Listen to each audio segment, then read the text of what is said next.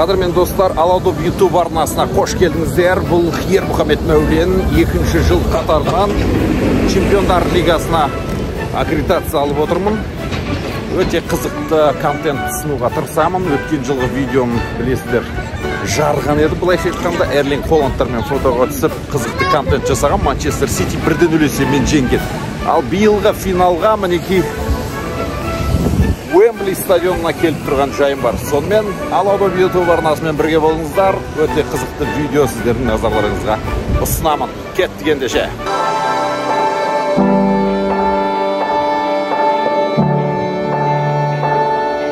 уэмбли стадион маңында бразилиялық фанаттарды көріп қалдым. You found uh, Rodrigo and Vinicius? Vinicius, Maybe. Vinicius Rodrigo, Vinicius Rodrigo. Aqui é Brasil. É da Militão. Hoje é Real Madrid, hoje na manhã é Real Madrid, na veia. Na veia. Diretamente aqui de Wembley. Uh, what's your prediction tomorrow games? 11, 11, 11, ah, oh, 11, oh. 11 Real Madrid, oh my god. É, é, é, It's very fantastic, amazing predict. Borussia, Borussia, oh. Real Oh. Madrid, 11. Окей. 11 a 0. Мінекей, мінекей тамаша болжам, Уэмбли стадионының маңындамыз. 11-де 0 есебімен Реал Мадрид жеңіске. Қадірмен достар, Аладуб YouTube арнасында шығып жатқан видеолардың барлығының да серіктесі біздің Фонбет компаниясы екендігін білесіздер. Айта кетуіміз керек, бұл компания Қазақстандағы VIP кэшбэктер бойынша жұмыс істейтін өте күшті компаниялардың бірі. Осы жағынан озып тұр біраздан. А, одан бөлек бұл компанияның қызықты акциялары туралы, бонустар туралы білгілеріңіз келсе, әлбетте төменде көрсетілген сілтемеге өту арқылы біле аласыздар. Қадірмен достар, сонымен Уэмбли стадионына келдік. Оның ашылу тарихы жалпы барлығы да жазылған. 1792 жылы Уэмбли парк деп ашылған, яғни саябақ болған бұл жердің барлығы. Содан кейін тарих бойынша кете береді. Мына жерде Эйфель мұнарасы бар ғой. Сол салынған кезде Bigger than the Eiffel Tower деген. Яғни Эйфель мұнарасынан да биік болуы керек. Сондай ғимарат саламыз деп. Мына жерде екі мықты мінекей стадион башнясы бар осындай мұнарасы бар стадион соға бастаған содан келіп келіп ары қарай уэмбли паркта олимпиада ойындары болған білесіздер 1948 жылы жазғы олимпиада ойындары болған. Мінекей жазылып тұр? Ә, битлз ә, концерт берген. Одан кейін танымал әншілерден майкл джексон болған. Абба дейміз ә, мына куинс тобын көріп отырсыздар. Ә, 1966 жылы әлем чемпионатының финалы осында болған. Білесіздер ә, бобби мур гол соғып англия құрама командасы өзінің тарихында бірінші рет әлем чемпионы атанған. Ол кезде тофик бахрамов әзербайжандық төреші қызмет еткен еді сол ойында білесіздер. Одан кейін нельсон мандела келген ә, мадонна бейонсе деген әпшелеріміздің барлығы осында өлең айтқан. Енді димаш құдайбергеновтың концерті ғана қалып отыр өтпеген қалғанның бәрі өткен сияқты. Одан кейін мына арка болған 2007 жылы реставрациядан өтеді одан кейін ашылады. Уэмбли парк уэмбли лайбрари яғни кітапханасы бар барлығы бар музейі бар. Түгелдей үлкен кешенге айналады және бұл уэмбли парк деп аталатын лондонның ә, ірі бір аймақтарының бірі. Мінекей уэмбли стадионының тарихы осындай.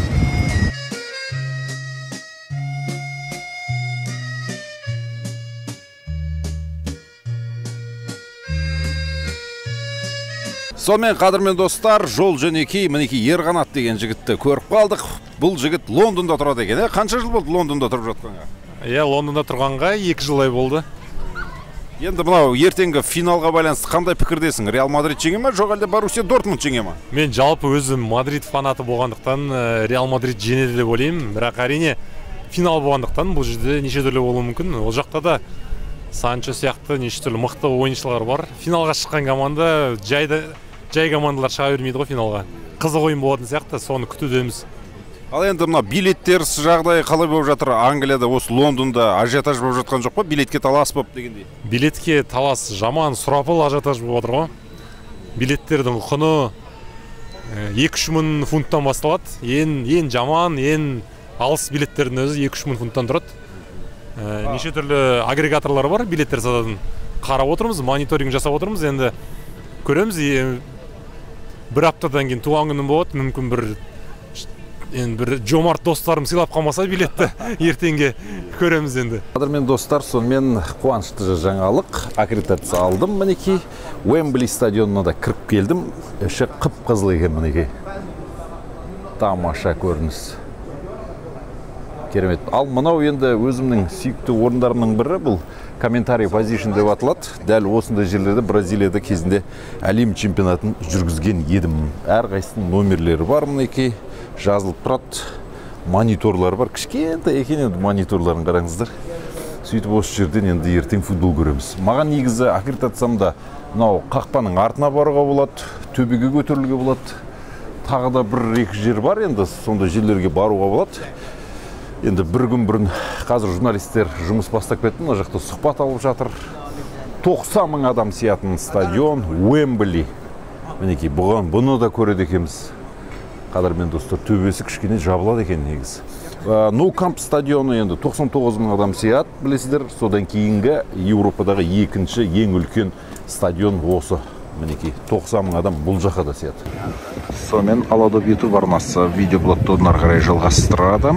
Бір метр жерде реал мадрид командасының футболшылары жаттығу жұмыстарын өткізіп жатыр.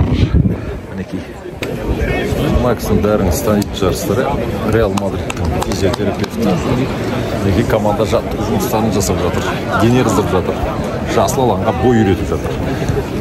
Жасыл алаңның сапасы күшті. Бір кішкене жаңбыр жауып тұр бүгін. Матч енді қандай болатынын күтеміз. Қадірмен достар сонымен бүгін мінекей мадридтің реалның фанаттары артымызда. Уэмблидің маңында осылай тойлатып жатқан жайы бар. Боруссия дортмунд фанаттары да бар мұнда.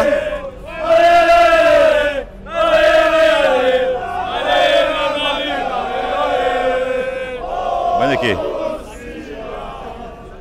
Біреуінен қазір сұрап пікір алып көрейік hello bro. Uh, who is this win? Ала мінекей өте керемет күшті жағдай болып жатыр.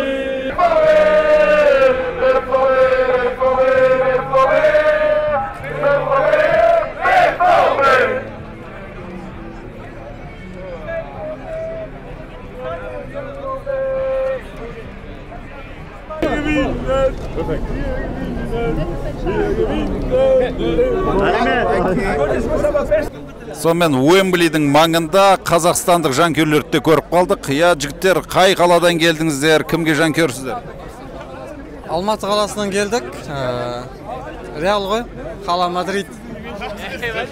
қарағанды қаласы тоже реал ғой бірақ футболдың особо болельщигі емеспін мен жолдас бала шақырғаннан кейін бірге келіп тамашалап Бірге маған жанкүйер болып жатыр менімен бірге. Реал Мадридке. Сен реалдың жанкүйерсің ол сенің жанкүйерің иә Иә, солай болып тұр. бұл қайсысынан болеть етеді мен соған ғой боруссия дортмунд ұтып кетсе не істейсіңдер Ұтып кетсе Марко Рой үшін қуанамыз иә. Сол жігіт үшін қуанамыз. А былай мына жақтан Тони Кросс бар. есеп қандай болады деп ойлайсыңдар Есеп үште бір болады деп ойлаймын мен.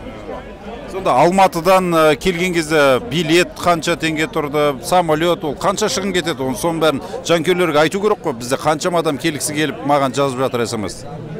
Енді ә, бір жарым миллиондай кетті ғой жалғыз өзіме. Ба- Барлық шығындарын қосқан кезде сол бір жарым миллион шығын кетті. билетті қайдан алдың? Билет сайттан. Мәскеулік па? Мәскеулік па білмедім осы ә, ағылшындардың сайтынан көрдім ғой. Қанша тұрады екен бағасы? Бағасы миллион тұрды. Бір миллион? Бір миллион иә. Тамаша рахмет сәттілік жігіттер. Жақсы. Сонымен қадірмен достар мен қазір уэмбли стадионының ішінде тұрмын. Мінекей реал мадрид фанаттары артымызда жасыл алаң боруссия дортмунд және реал мадрид футболшылары жаттығу жұмыстарын жүргізіп жатыр. Артымызда реал мадрид фанаттары. Жаңа ғана реал мадридтің аңыздары да келіп кетті осында. Ішінде зинедин зидан да бар және оның баласы лука да бар деген секілді.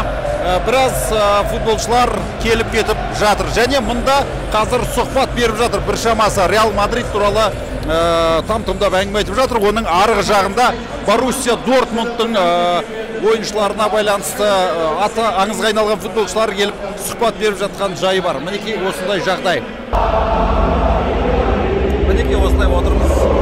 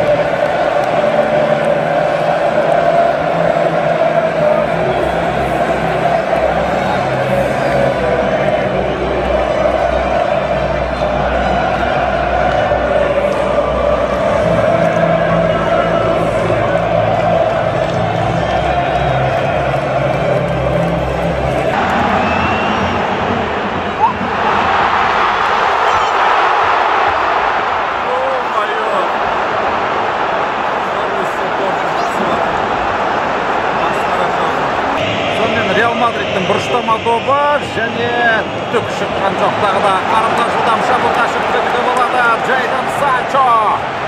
Санчо кетіп бара жатыр. Оң қапталымен әуелете асырған пас ешкім жоқ. Юлиан брандт. Реал мадридке қарсы ойында пенальти бермейді ғой төрешілер бірінші тайм соңындағы бұрыштама. Одан да түк шыққан жоқ. Сонымен бірінші тайм аяқталды. Бәрекелді өртейін деді мынаның шын боруссияның фанаттары жағып жіберіңдер осы уэмблиден қалған сол еді ассалаумағалейкум достар сонымен матч ұйымдастыру деген ол өте қиын шаруалардың бірі ол жерде волонтерлар да жұмыс істейді мистер what's your name Gordon. Gordon. Uh, how many volunteers in the work this match? How many? Yeah, work. Uh, I've worked. Volunteers. I've worked for about five days, uh, putting in the uh, the uh, interneting and the uh, the IT here. the uh, volunteers works in the very hardly or easy? Uh, it's enjoyable. Enjoyable, So, yes, yeah. yes. Not my normal job, so it's very enjoyable.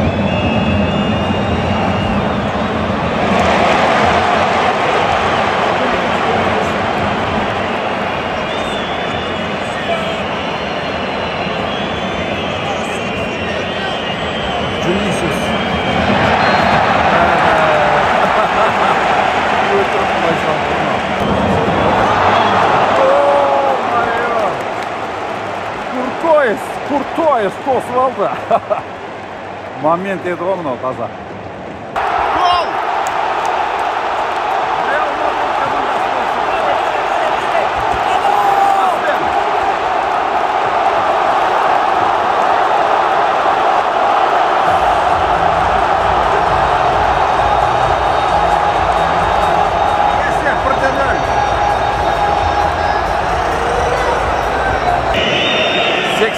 Мың жанкүйер келіп тұрған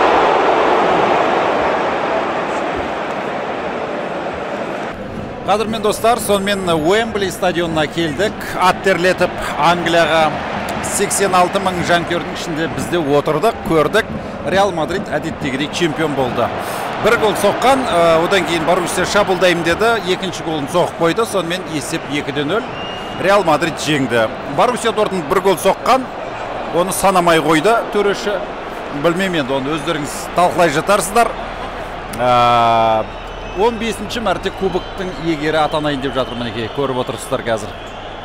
Таңқалатын ештеңесі жоқ. Жыл сайын көріп жүрген әдетке айналған жағдай болды.